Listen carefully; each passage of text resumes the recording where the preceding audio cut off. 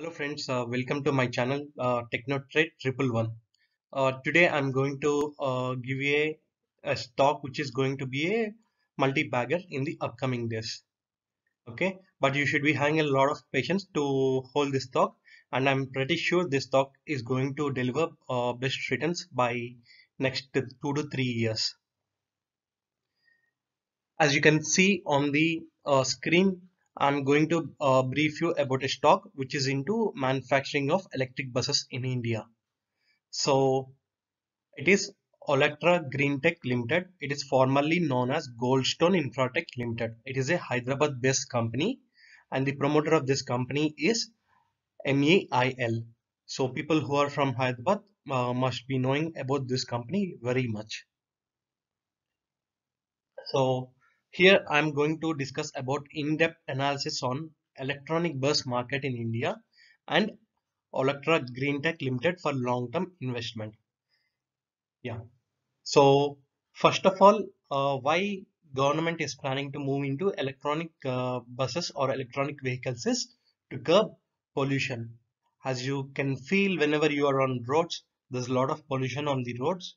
So to decrease the pollution levels in the air to curb the carbon monoxide emission levels from the air. Government is planning to come to this electronic vehicle seg segment. But as of now if you see the penetration in india is very very less and it is expected to grow at least uh, in a significant uh, manner in the next 3 to 4 years so i'm going to uh, give you presentation on very various uh, from the various sources that i have collected on uh, electronic vehicle buses and its impact in india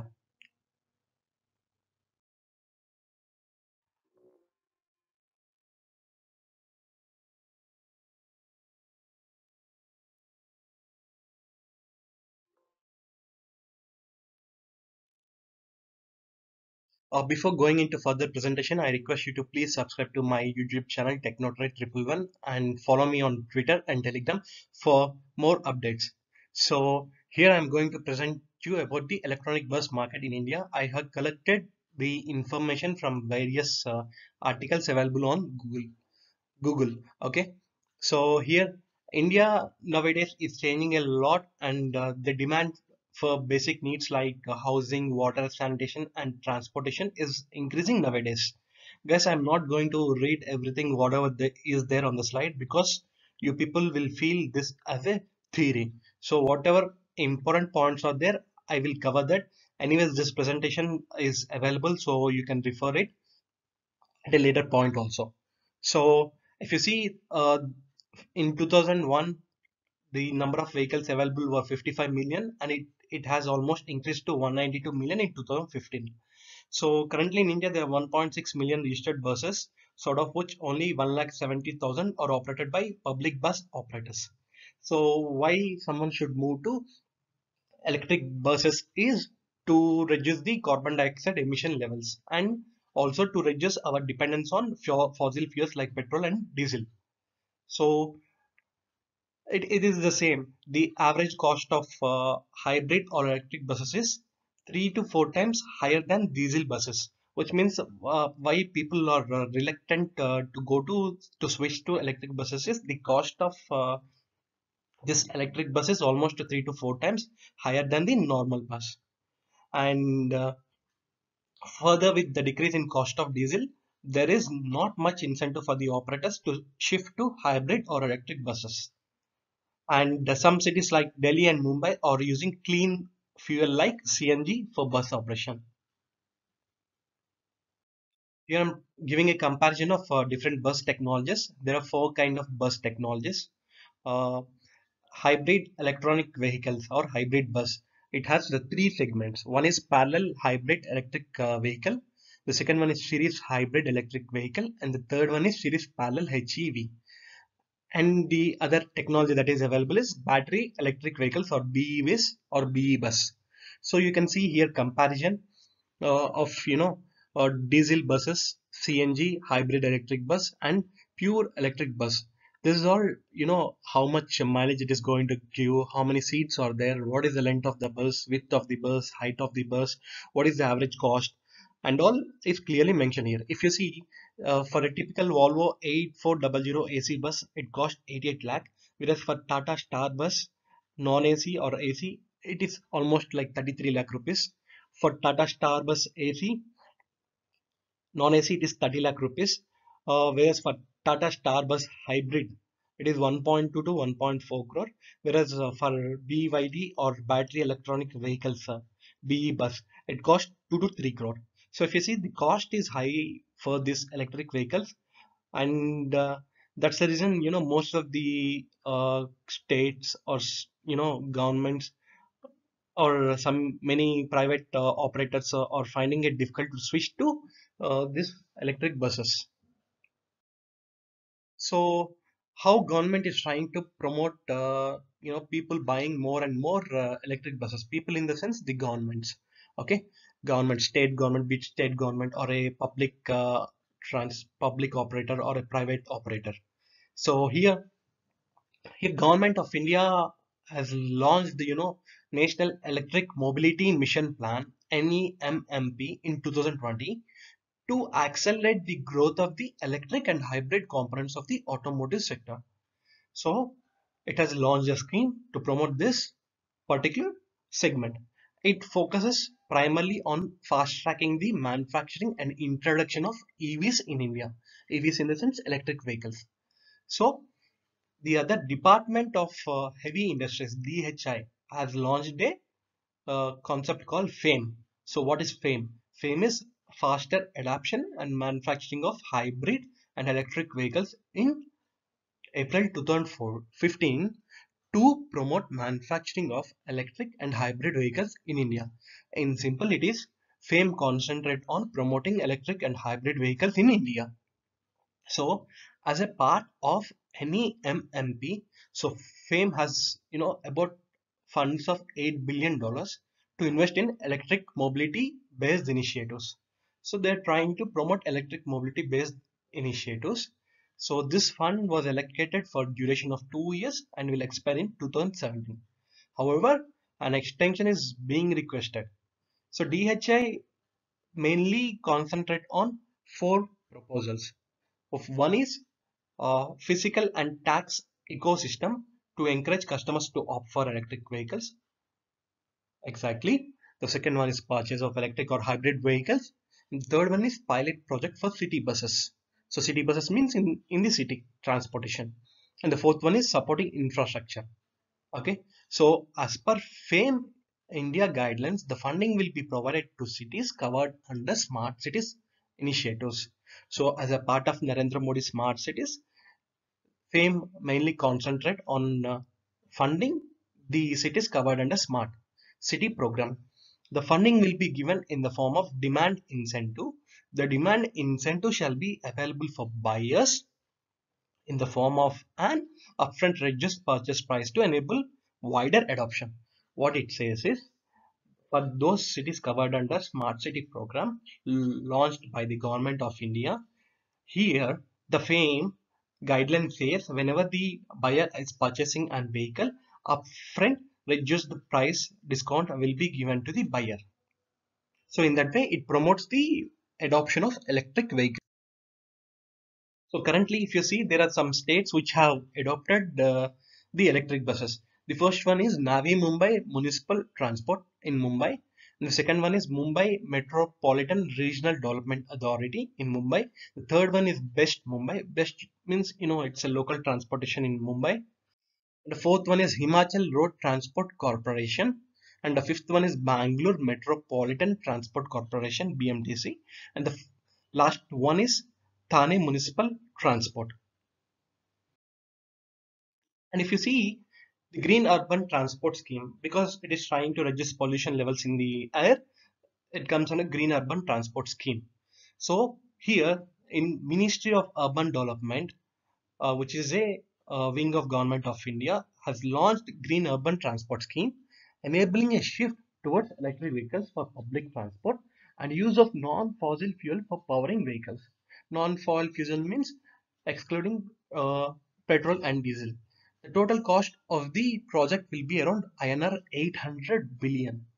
So the cost of this project is 800 billion rupees. So the government will give funding to 105 cities which will be selected through competition.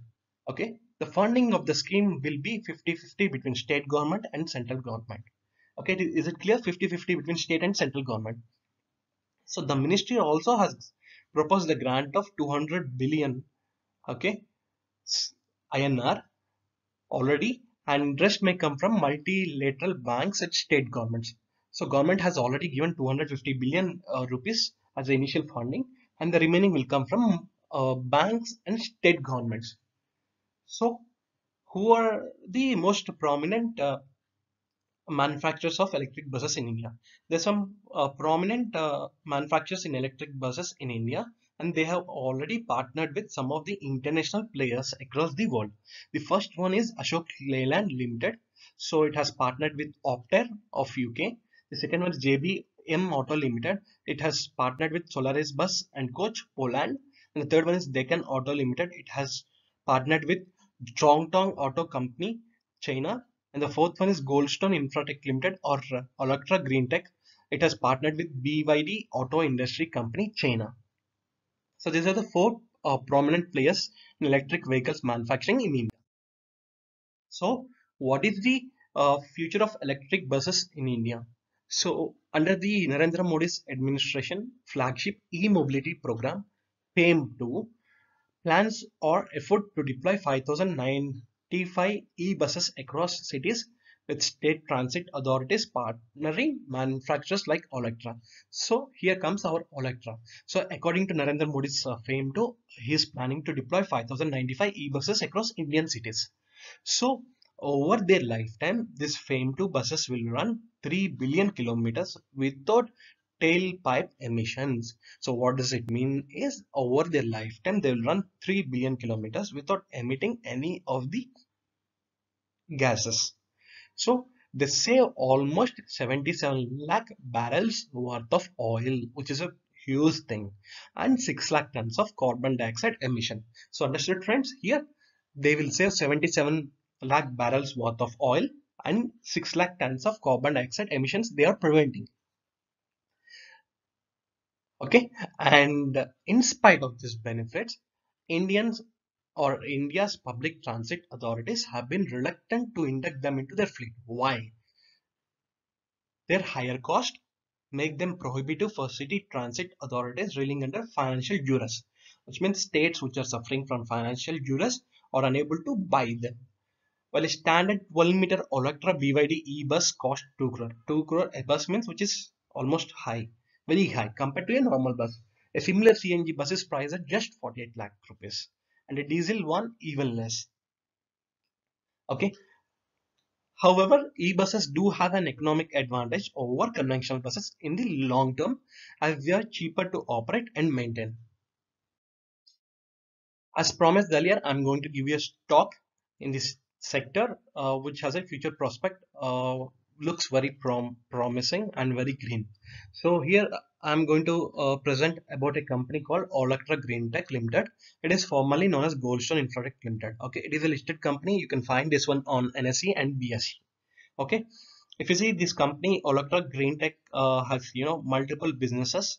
Okay, and it is into co composite insulators manufacturing, amorphous core distribution transformers. They are into data analysis, IT consulting, and electric buses manufacturing. So it is a Hyderabad based company and the promoters of this company are MEIL Megha Engineering Infra Limited. So here uh, coming to the uh, Olectra uh, it has a bus called K9 the highlights of the bus you can say disc brakes okay uh, monocoque chassis in wheel drive regeneration braking kneeling mechanism front and rear air suspension long range on single charge. These are some of the features of this bus. They have many other buses also. And if you see some of the uh, unique selling proposition or uh, uh, core features of this bus are 100% emission free. They don't emit any gases or or you know into the gases or dangerous gases into the air. And it is uh, completely designed and tested for Indian roads. So already 108 uh, Electra BYD buses commercially operating in India and 15 city trails are completed in India and 70 lakhs, uh, 78 lakhs uh, savings in fuel cost already and uh, 5 lakh uh, kilometer covered in India and 1 lakh uh, 70,000 liters of diesel avoided and 2,700 trees to achieve some carbon dioxide reduction in one year. So if you see, uh, this is a bus which has been uh, recently launched by Mr. President of India uh, in uh, Silvassa Smart City and this bus is currently operational. And here I have plotted a stock uh, return versus Sensex return. You, you can see the one month return is 30% against a Sensex return of 14.9% and the five year return is uh, 409.09% against 26.46% of Sensex and 10 year return is 173.68 against a Sensex return of 100.13 percentage. So here coming to the monthly charts of the stock. If you see uh, currently the stock is facing a resistance around a monthly chart resistance levels of 78 rupees. So once the stock uh, breaks this 77 78 level it can slowly reach 155 levels on a monthly basis and the RSI is also trending upward at 35 levels and here I suggest you people to maintain a strict stop loss of 55 on monthly closing basis. So coming to the daily charts of the stock, the stock is uh, facing a resistance around 77 78 levels again. So and it has a great support at uh, 63 64 levels. I suggest uh, you people someone who has entered into this stock should maintain a strict stop loss of 64 rupees. If the stock is failing uh, to hold this 64 level support uh, please do exit. And once this stock breaks uh, 78 on the upper side it can reach 108 levels also and the RSI is also supporting at 5960 levels which means uh, there's a bullish momentum in the stock. I easily feel if the stock is held for two two and a half years it can give you 100% returns. And uh, I request you people to you know strictly uh, watch this stock. Uh, thank you all. Please follow us on YouTube, Twitter, Telegram at uh, Technotrade Triple One. Thank you all. Have a great day.